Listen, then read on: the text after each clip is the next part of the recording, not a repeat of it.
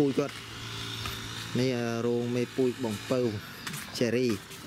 បាទកន្លែងខ្ញុំមន់ហើយនេះរោងមេពូជគាត់គឺច្រើនមែនតើបាទឥឡូវគាត់បំបីទៅខាងនេះទៀតបាំងច្រើនហ្នឹងបាំងដល់ទូខាងនោះទៀតណាអូនណាអូណានេះសិតតែគោគាត់ធំធំហ្នឹង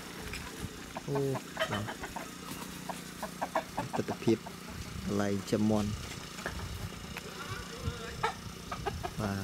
បាទនេះបងប្អូនដែលចង់ចំភ្ញាស់ប្រកាត់អីគឺអាចមើលបានតែកន្លែងគាត់វាមិនសូវធំប៉ុន្តែគាត់នាំកូនមន់ច្រើនណាដោយសារគាត់មានសហគមន៍ចងក្រុមគ្នា